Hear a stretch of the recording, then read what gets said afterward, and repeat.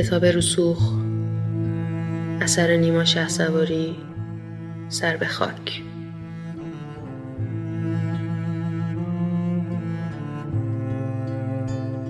در میان جنگلی سرسبز و خرم که در نزدیکی دهکدهای وجود داشت پرندهای زیبا زندگی می‌کرد.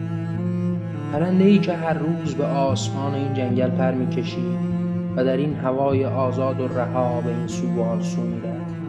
و از قلب جنگل عبور می‌کرد و بالا و بالاتر می‌رفت و در آسمان اوج می‌گرفت. زندگی جانداران را رسد می‌کرد و جهان زیر پایش بود. او با دیدن حیواناتی که آزادانه در فضای این جنگل جست و خیز می‌کردند جان تازه ای می‌گرفت. بهترین احساس را زمانی داشت که در هوای آزاد به پرواز بود و این حس آزادی را با هیچ در دنیا عوض نمی‌کرد. بعدها بچه دار شد. جوجه هایش یکی یکی سر از تخم برآوردند و به چشمانش چشم دوختند. وقتی به آنها نگاه می‌کرد معنی زندگیش را در نگاه های دنبالدار آنان میجست و می‌فهمید که رسالتش در این دنیا جان بخشیدن به آنهاست.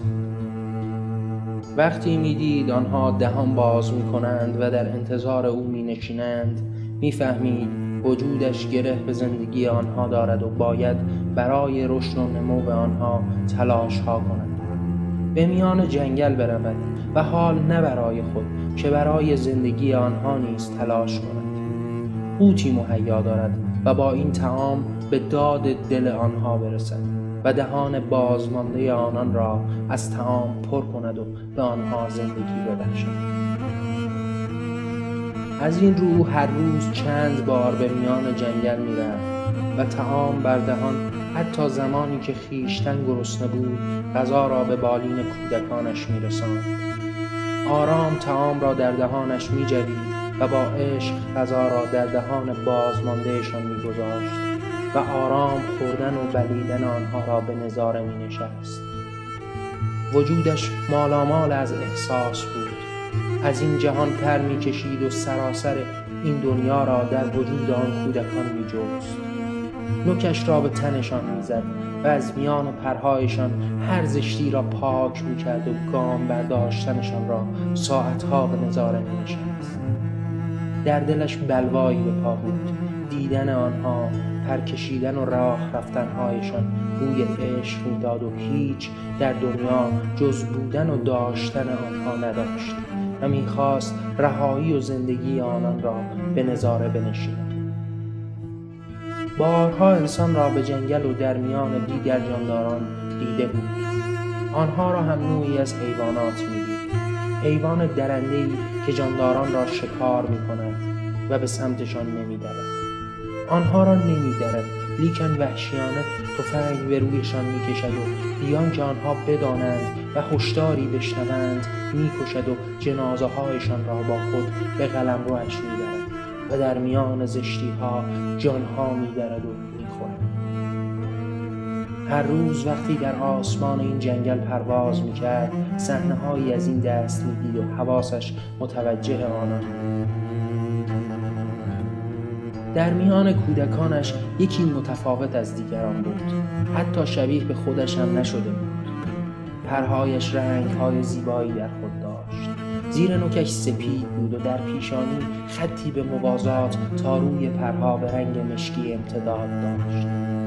چشمانش را گویی سرمه کشیده بودند. اطراف چشمانش مشکی بود و آنقدر زیبا بود که هر بیننده ای او را می‌دید دوست داشت زمانی را برای دیدن او صرف کند و مادری که تمام تلاش را می‌کرد تا کودکان از آب و گل در بیایند و راه و رسم زندگی در این جنگل را به آنان فرا تمام روز را در پی جستن تعامی برای جوجه های صرف می‌کرد بعد از سیراب کردن آنها درس زندگی و پرواز با آنها فرا یک به یک در کنارش می ایستادند او کمی پیشتر از روی شاخه ها می پرید و پرواز می کرد کودکان از او درس پریدن می گرفتند سعی می کردند در پی این تلاش ها درست پرواز کردن را بیاموزند و یک به یک پریدن را فهمیده و آزادانه مثال مادر پرواز می کردند.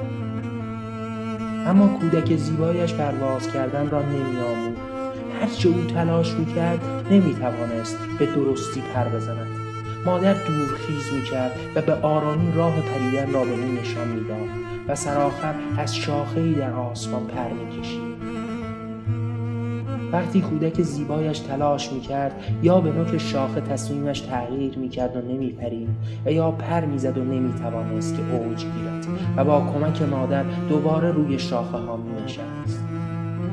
از این رو دیگر کودکان بزرگ شدند پرواز کردن آموختند و از پیش مادر رفتند تا زندگی کنند. اما پرنده زیبا کنار مادر ماند و مادری که ناراحت بود چرا پرواز نیاموخته و تا این حد از پریدن میترسد؟ اما به دل شادمان بود که در کنارش مانده و با اوست. تمام وجودش از عشق فرزند و فرزند از عشق مادر مالامال بود. روزها از کنار هم میگذشتند با هم جان می‌گرفتند به هم جان می‌دادند از بودنشان و از ماندنشان شاد و سرمست به هم عشق ارزانی می‌دادند و به این سو و آن سوی جنگل می‌رفتند.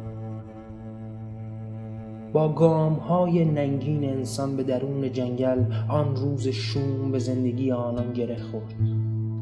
مادر لب شاخهای نشسته بود و باز هم مشق می‌کرد پریدن را برای فرزندش. او هم آرام نشسته به حرکات مادر نگاه می‌کرد.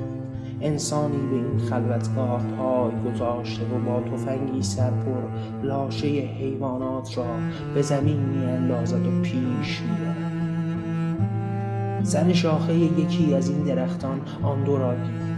و حواسش معطوف دو پرنده مثال صدها پرنده ای که تا به حال کشته بود. شد از میان دوربین تفنگش نگاهی به پرنده ها کرد و در کسری از ثانیه نگاهش به کودک زیبا افتاد.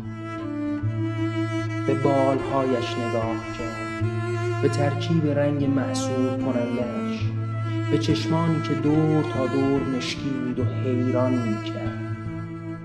بعد با کمی محاسبه بین این دو به واسطه بزرگتر و پروارتر بودن پرنده مادر را انتخاب کرد و گلوله از میان تفنگ بیرون رفت. مسیر را طی کرد و پیش به سوی مادر راه پرنده کوچک چشم در چشمان مادر دوخته. تلاشهایش را برای زندگی دادن به خود می‌دید و شکارچی که در گذشت تمام این سالیان شلیکهایش به هیچ یک از این حیوانات فکر نکرد و هیچ از دنیایشان ندید.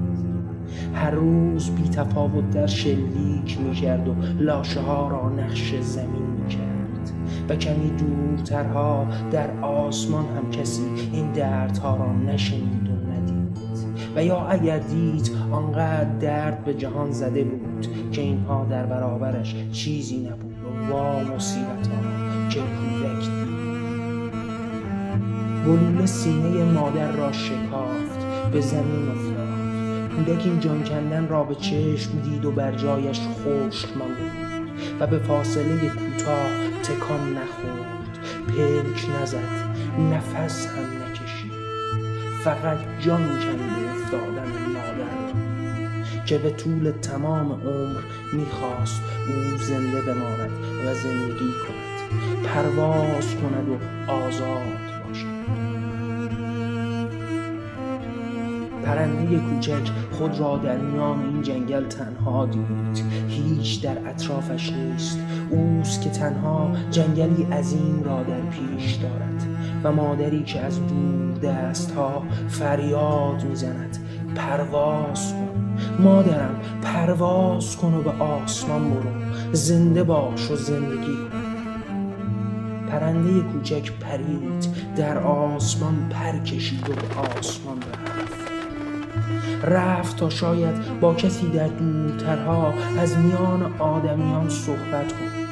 رفت تا خودش را از هفت آسمان هم بیشتر و بالاتر ببرد و داد و شکایتش را به صاحب اینان و به گوش آنان برساند.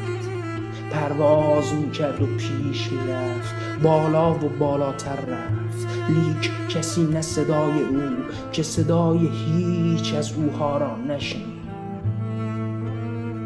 مرد آرام جنازه پرنده ها را در خورجین سپرد و به راهش پیش رفت. هر بار تفنگ را بالا کرد و یکی را به هلاکت رساند و هر بار که میکشت به میهمانی شب و سفره رنگینش فکر می‌کرد.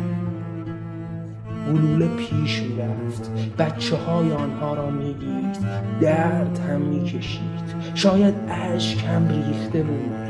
لیک او پیش می‌رفت و قلب ها را میدرید و جنازه به جنازه ها میافزود. هیچ در توان نداشت و شکارچی به راهش ادامه می‌داد. در تمام مسیر دوشا دوش و در کنارش پرنده زیبا و کوچکی پرواز این کشتنها را دید. مرگ این پرندگان که هر کدام به طول عمر داستانها داشتند و زندگی کردند و زندگی را دوست داشتند عاشق شدند و بچه آوردند و همهشان با گلوله نقش بر زمین شدند. همه را دید. سینه هایشان شکافته شد و هیچ کس از داستان و رازشان نگفت و شکارچی فقط کشت و پیش رفت و سرآخر به قلمروش رسید. دستور داد تا خادمان پیش شوند و سر از تنهای بیجان پرندگان ببرند. و پرهایشان را بکنند و در گودالی نزدیک به خانه دفن کنند و این جانهای دریده شده را به سیخ بکشند. تمام روزهای ریز و درشتشان روزهای بودن و ماندنشان تمام فرزندان و مادران و پدران را آتش زدند و سرخ کردند تا جماعتی که در پسوی خانه منتظر است. آرام در میان شوخی و خنده گوشت تنها را بدرد و بخورد. لیک پرنده کوچک آنها را دید و به چشمانشان نگاه کرد و به وجودشان مادر را شناخت و نگاه های هر کدام را با نگاه مادرش گره هر بار به یاد خودش میافتاد. و به یاد مادرش که چگونه تعام به دهان می جوید و به دهانش می گذاشت. و هر بار آن تصویر را دوره می کرد چگونه درس پریدن به او می‌داد و آرام پروازش را به نظاره می نشست هیچ ناراحت نشد از این پریدن ها و ناکامی های فرزندش و هر بار باز هم با عشق درس زندگی به او داد. هر بار هر پرنده را مادرش می و مرگش را مرگ مادر می هر بار افتادن سینه شکافته شدن را تصویر همان دورترها و مادر خیش پنداشت و هر بار ترس تمام وجودش را فرا این مهمانی با گوشت و تن و عشق و جان پرندگان خوشرنگ شد و جماعتی که با ولع از گوشت و جانها میخوردند و شکارچی که به هر سو می‌رفت پرنده زیبا سرآغاز صبح وقتی از خواب بیدار شد و چشمانش را مالید پشت پنجره اتاقش پرنده کوچک و زیبا را دید که چشم به چشمانش دوخته اول خیال کرد که خواب است اما نزدیک شد و باز نزدیکتر او را شناخت. برایش خیلی تعجب برانگیز بود اما این پایان کار و این تعجب ها نبود. هر جا که نگاه می‌کرد باز هم پرنده زیبا آنجا بود. در میان مزارش پشت هر کدام از پنجره های امارتش همیشه و همیشه او را می‌دید. و مثل سایه ای در کنارش بود. حتی کار از اینجا هم پیشتر رفت. روزی که داشت به فرزندش در خانه غذا می‌داد. وقتی آرام غذا میان دهان او میگذاشت و از خوردنش جان تازه می‌گرفت در میان همان آشپزخانه و کمی دورتر دید که پرنده زیبا چشم آن دو دوخته و آنها را نظاره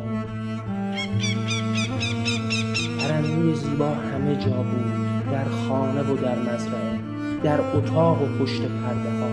هر کجا و هر کجا که می‌رفت این سایه را می‌دید و نمی‌توانست خاطرش را از او پاک کند. اما روزی دیگر او را ندید.